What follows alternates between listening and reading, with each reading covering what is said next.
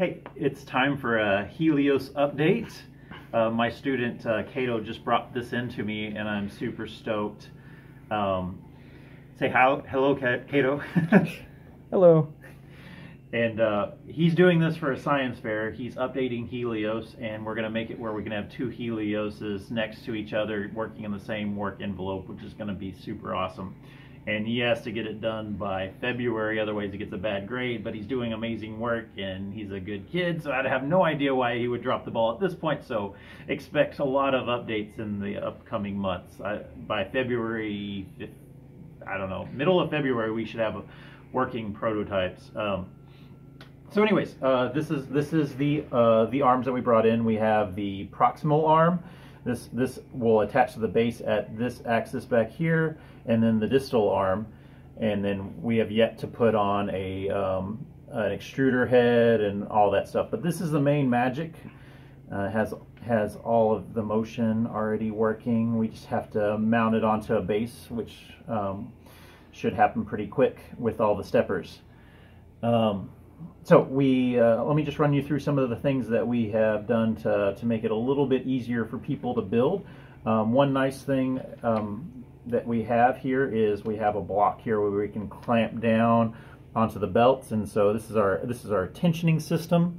Um, so we don't have any play whatsoever in these belts. And we'll we'll have a completely different system. This didn't work very well for what we're going to do on the base um, we're gonna have we're gonna have to do that a little different, but we have we have something in mind um, when we get to the base. So everything will will have some nice screws you can turn to to put everything in tension. Um, uh, let's see. Another interesting thing we did was we replaced the rails with carbon fiber, and these are so light and more rigid than we would need, and we can go as tall as we want. The idea is we'll print a real base. Uh, a, a, a pretty small base, and then when we want to print really high, we'll we'll elevate it over the print surface, and then you can go um, you can go you can print below the bottom of, of the robot if you really need to get really tall prints. Um, but for the most part, people will want to print you know um, fairly small things. And so you'll just be working in this region and the, the base of the printer doesn't need to be that tall. And so we'll just have extra area up here, but this is very light so it can swing around without getting in the way.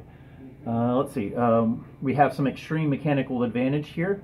Um, here you'll see that we have, what was it, 55 teeth? We have 55 teeth on these small pulleys. And um, so this is just a transmission line here. So we have no mechanical advantage here, but you can see these pulleys here have 168 teeth. And uh, what we don't have here is we're going to have a secondary axis that's on the base that goes to, these big pulleys will go to a smaller pulley, which will go again to a big pulley back to the driven pulley. So there'll be a compound um, um, belting situation, which will end up with a 30 to 1 um, ratio, which will allow for um, any stepper that you find to be um, to be usable. Anything that you'd get off of a normal 3D printer. Most steppers you buy are uh, 200 steps per rotation, and um, for the last Helios I made, I got special ones that were 400 steps per rotation, and they were just on the edge of acceptable. And uh, I think the uh, mechanical advantage I had was 12. And so I'm going from, I'm, I'm more than double, we're, uh, Cato's more than doubling the uh, mechanical advantage. And so we'll be able to get away with the uh, the cheaper steppers. And um, it's not that expensive to buy the, the, the other steppers. It's just a little bit harder to find and I really want um, us to be able to grab any stepper without people really thinking about it and have it work. So um, nothing's worse than like thinking that your machine's going to work because it, the part looks right, it looks like everything moves, but the print it just doesn't print as well. So this this should print well for everyone, no matter what they pick up. Uh, let's see what else there. Um, we um, we implemented a system. Um, we call it our base unit system. There's a whole bunch of layers with belts going this way and that way, and we were having trouble keeping track of what goes where and whatnot. So we came up with a system, kind of like Legos, where we have certain layer heights. So we have um, everything's in multiples of 10 millimeters. So this bottom of this arm is 20 millimeters, and then 10 millimeters, and another 10 millimeters, 10 millimeters, 10 millimeters. and that system allows us to easily piece this together very easily. And um, by the way, everything is completely parametric. So if somebody comes in and say, I want to use belts that are twice as thick or blah, blah, blah, they can type those things in and the, the design will repopulate uh, to accommodate that different um, base unit size. And there's other things you can change. Um, right now we have fairly short arms. How long are they? Um, 130. Uh, that, that 130 millimeters is, how long the arms are.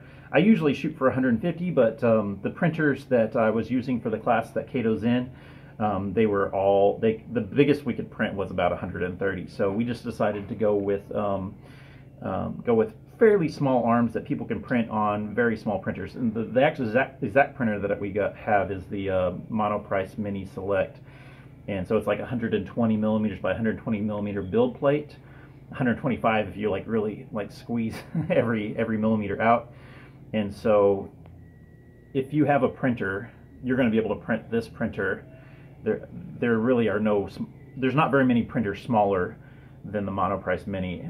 And, um, and oh, and uh, let's see. The other thing that's interesting that we updated is everything in this is, we since we added this tensioning, we're allow, allowing all the parts to actually be solid. So this arm is printed as one solid piece. The uh, distal arm is printed as one solid piece and so there's no adjustment. I in the last one I had length adjustment to, to tension the belts, but now we've gone with solid solid pieces with really high infill, and so these are super rigid. And I think that's it. Anything else, Cato? I don't think so. All right, so uh, I'm looking forward to seeing this, and we should have a lot of updates in January. So keep tuned.